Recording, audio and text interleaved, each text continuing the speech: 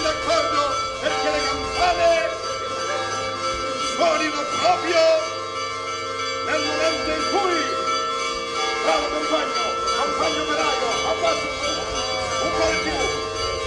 Basta fermati. A beatificazione. compagni piccoli quando sarete grandi.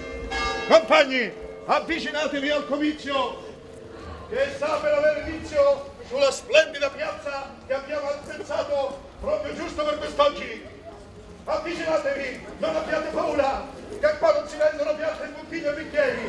Si vende l'arte confezionata e preparata. Avvicinatevi compagni. Ah, È arrivato lo cantastore per farvi sentire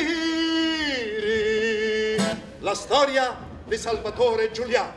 Vita e morte di Salvatore Giuliano, bandito da Montelevio, lo bandito siciliano, le pagine liguri, le pagine bianche. Bianche. Voglio cantare con senso sereno tutto che gioca fece gioiano l'uomo che per sett'anni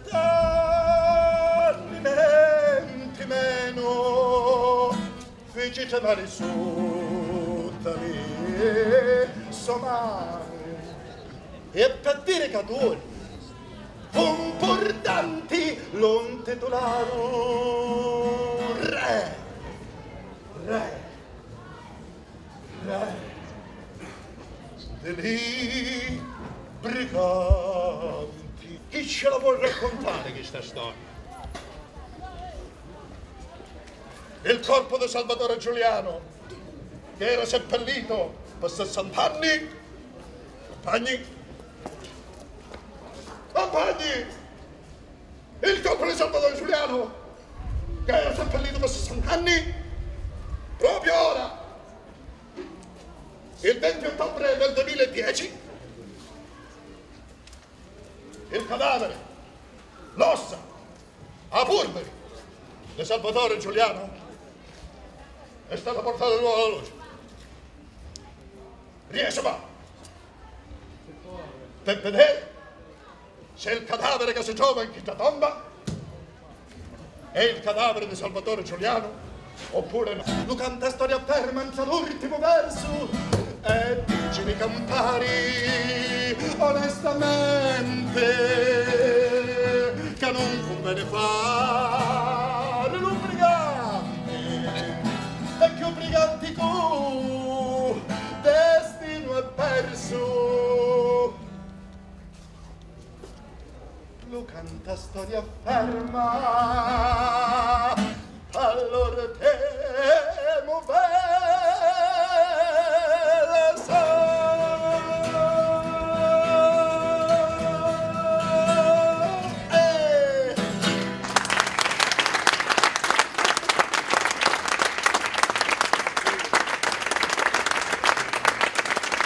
Beh, eh, la, la- la cosa che mi ha colpito comunque leggendo il vostro invito e anche quello che avete scritto sui documenti, eh, quello che mi colpisce è che io penso che insomma è un po' venuta l'ora hm, per ridare valore a- ad alcune cose, Eh, cioè vabbè che siamo in un mondo totalmente immerso nel consumismo, totalmente immerso nel eh, sistema produttivo, da non meditare più, nessuno medita, nessuno si ferma più, no? Dobbiamo correre per andare a- ad acchiappare chissà che cosa.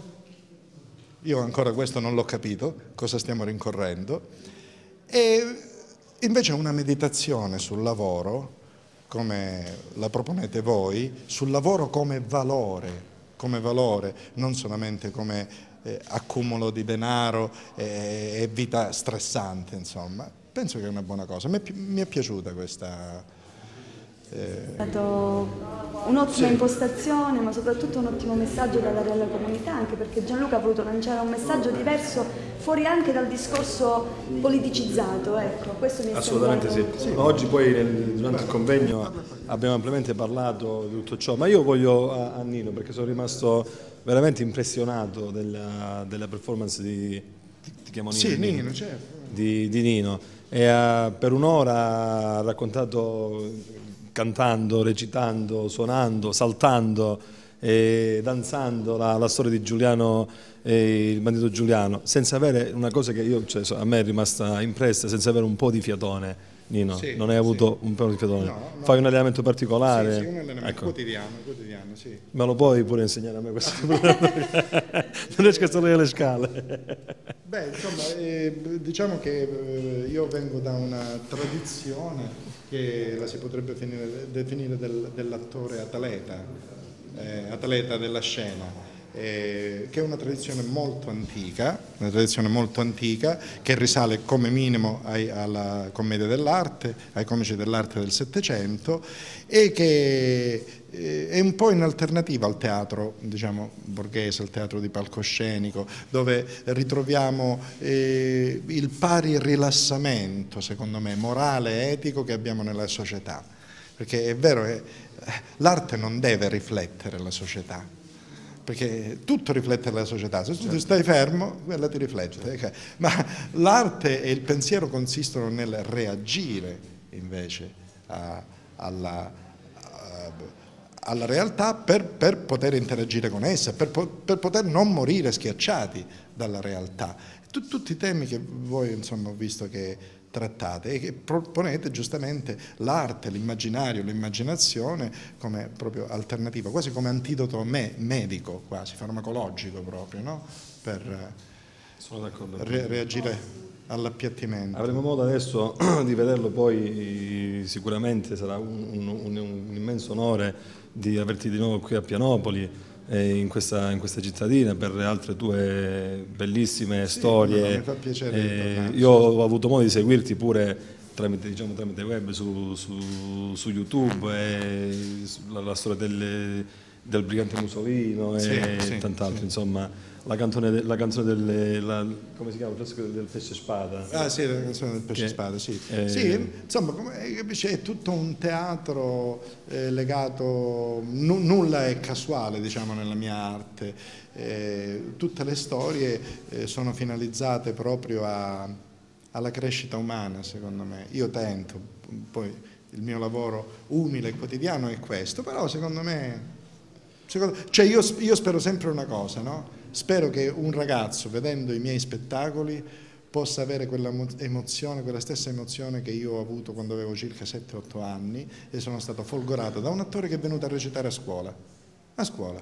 Ti, Io ti sette- assicuro che non soltanto il ragazzo ha avuto l'emozione questa sera, io personalmente Sì. ho avuto una, una forte Eh, emozione. eh, e, e che, e che questo evento qui di vedere una persona che dà tutto se stesso, non all'accumulazione eh, consumistica o capitalistica, ma che dà tutto se stesso all'arte totalmente, perché eh, un artista deve darsi totalmente all'arte proprio, rischiando di tutto e di più. E che questo possa contribuire proprio alla, alla crescita dell'uomo. Dice, vedi, forse se la nostra energia la mettiamo in altro, che non nello stress eh, sistematico, quotidiano, no? Eh, forse, forse la storia può prendere una piega diversa.